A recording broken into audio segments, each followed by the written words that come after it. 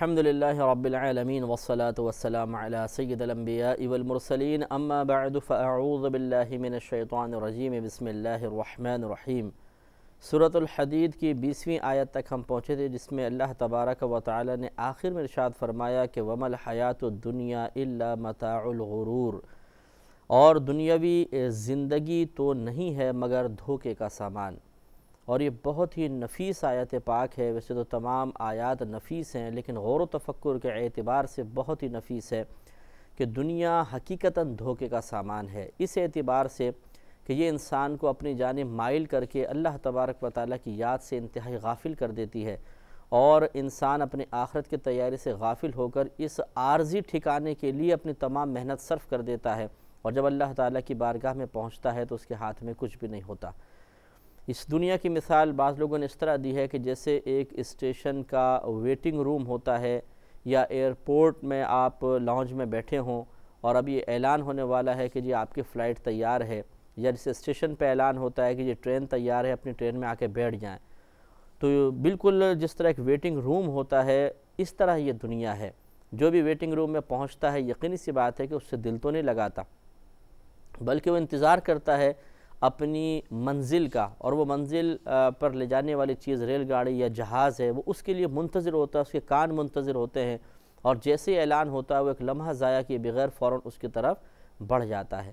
اگر بالفظ کوئی شخص ایسا ہو کہ وہ کسی ویٹنگ روم میں داخل ہو تو دیکھے کہ دیواروں پر سے رنگ نہیں ہوا اور چھت پر جالے وغیرہ ہیں، گرد بہت زیادہ ہے، تو وہ گاڑی ابھی آنے والی ہے یا پلین کا اعلان ہونے والا ہے، اس کو چھوڑ چھاڑ اور وہ کہیں سے جھاڑو لے آئے اور پوچھے کا سامان لے آئے تو اور سب صفائی وغیرہ شروع کرنا شروع کر دے اور دیواروں پہ رنگ کرنے لگ جائے تو یقینی سی بات ہے کہ آپ اسے انتہائی بیوقوف قرار دیں گے۔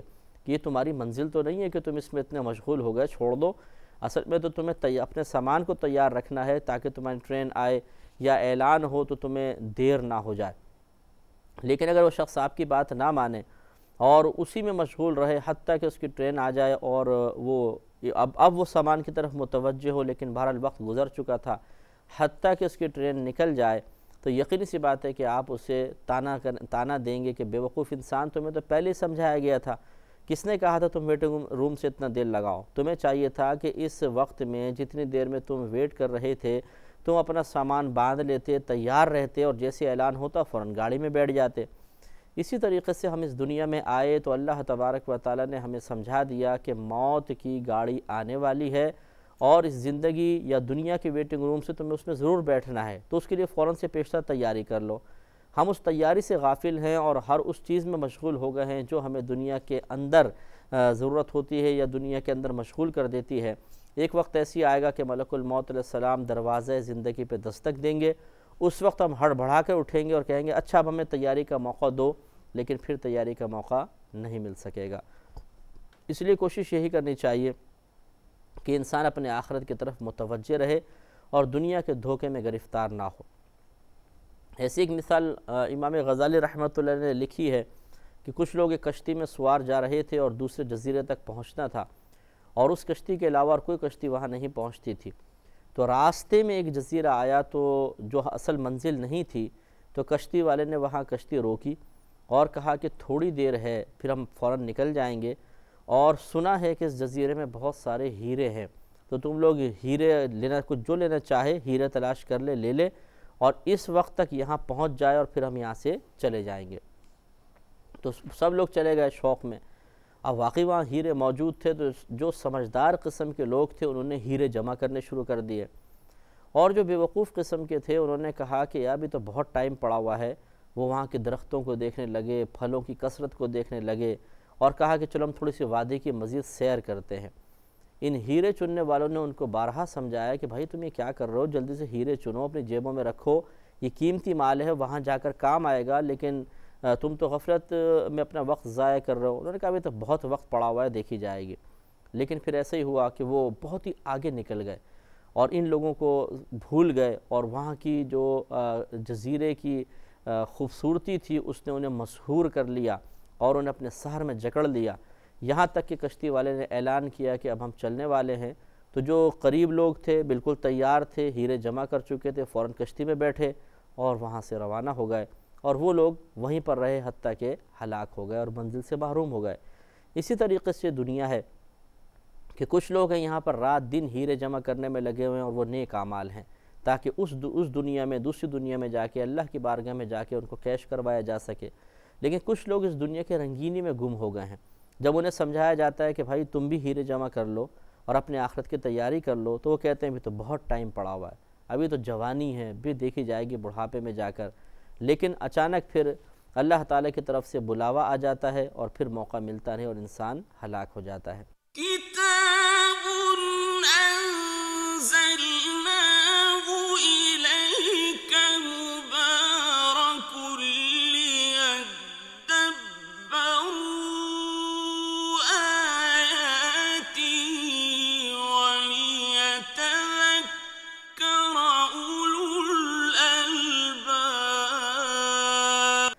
ایک اور مثال دی گئی ہے کہ ایک بادشاہ نے ایک، اپنے شہر سے ایک شخص کو بلایا جو بہت ہی غریب تھا اور کہا کہ تیری کیا خواہش ہے؟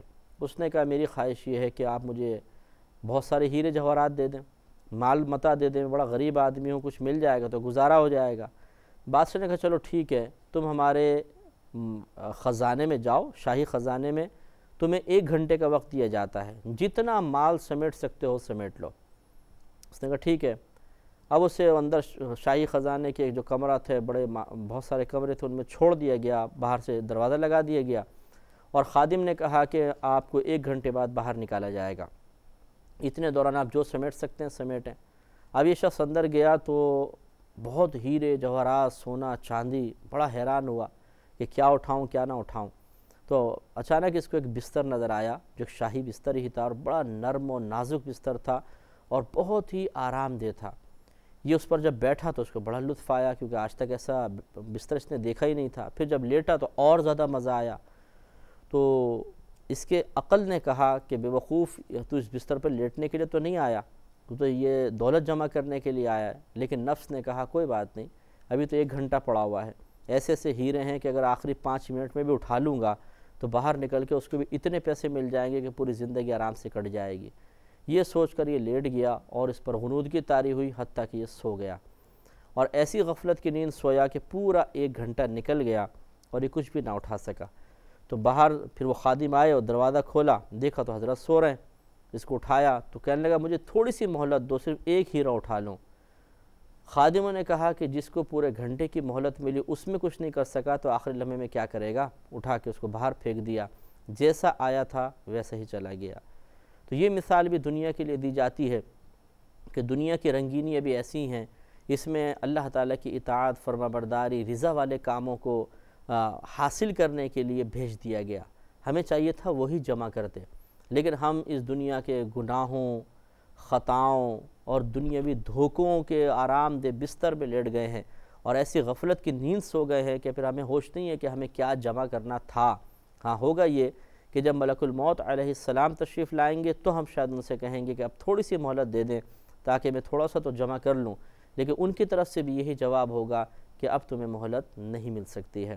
تو خلاصہ کلام یہ ہے کہ اللہ تبارک و تعالیٰ کا یہ فرمانا کہ دنیا کی زندگی دھوکے کا سامان ہے، یہ حقیقت ہے کہ جو دنیا کی طرف مائل ہو جائے گا تو دنیا اسے اپنے اندر جکڑ دیتی ہے اور پھر انسان کہیں کا نہیں رہتا، وہ اللہ تعالیٰ کی طاعت، اس کی فرما برداری اس کی رضا والے کاموں سے انتہائی دور ہو جاتا ہے اور پھر یہ بعض اوقات برائی کی عادتیں اتنی راسخ ہو جاتی ہیں، ایسے اسے اپنے جال میں جکڑ دیتی ہیں کہ وہ چاہتا بھی ہے تو نہیں نکل پاتا۔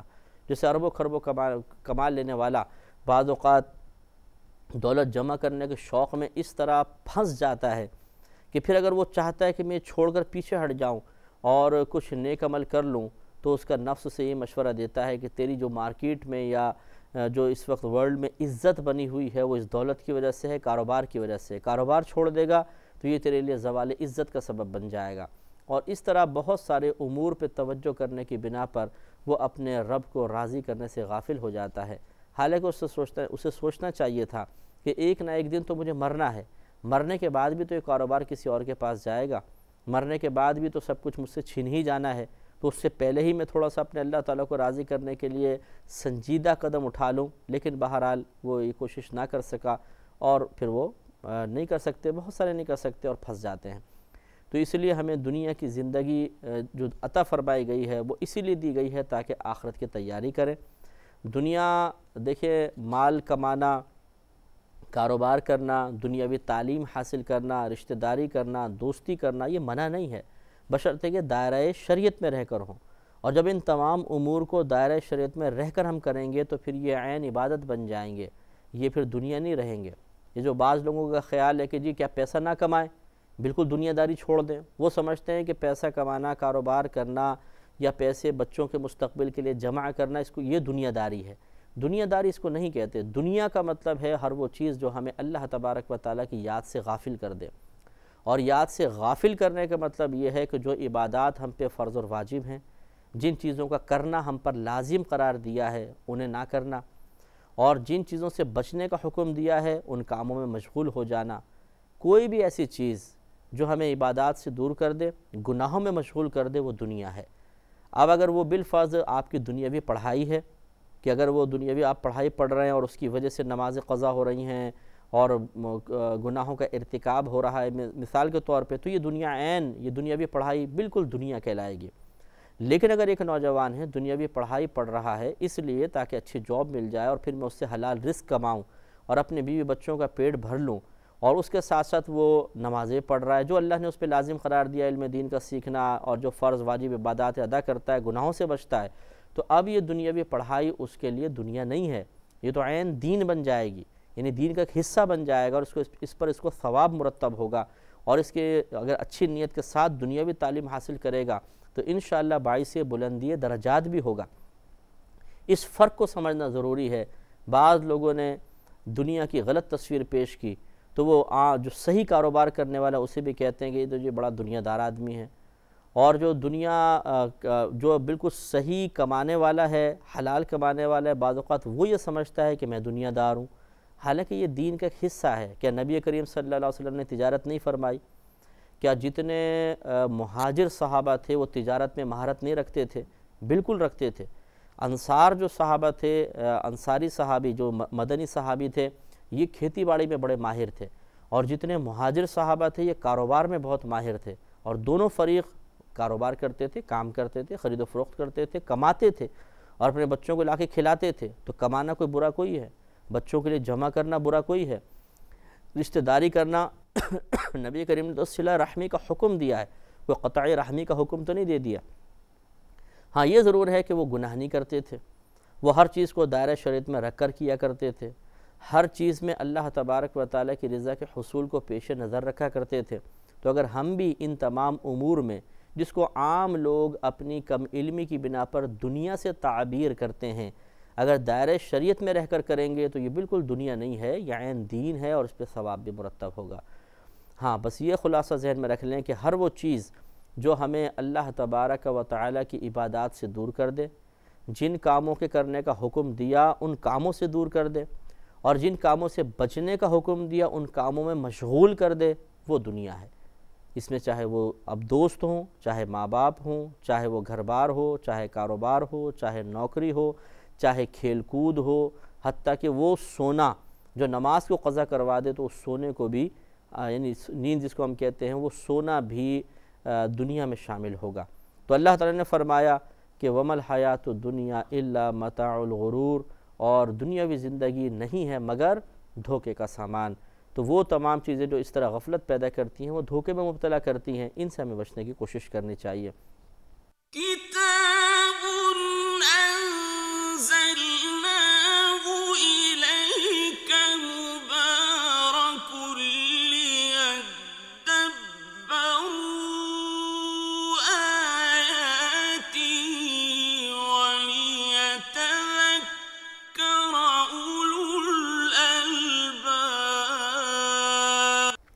سابقو الى مغفرت من ربکم۔ اللہ تعالیٰ فرماتا ہے کہ سبقت لے جاؤ تم مغفرت کی طرف، اپنے رب کی طرف سے۔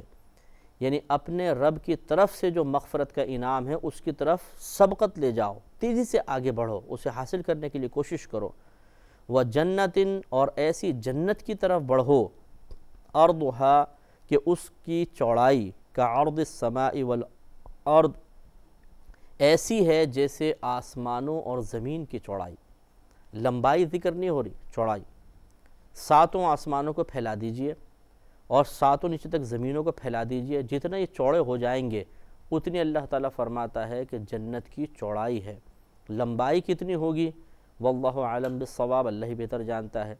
نبی کریم صلی اللہ علیہ وسلم کی حدیث پاک کا مفہوم ہے کہ زمین سے پہلے آسمان کے درمیان اتنا فاصلہ ہے کہ اگر ایک گھوڑ سوار تیز رفتاری سے گھوڑا دوڑائے تو پانچ سو سال میں پہلے آسمان تک پہنچے گا۔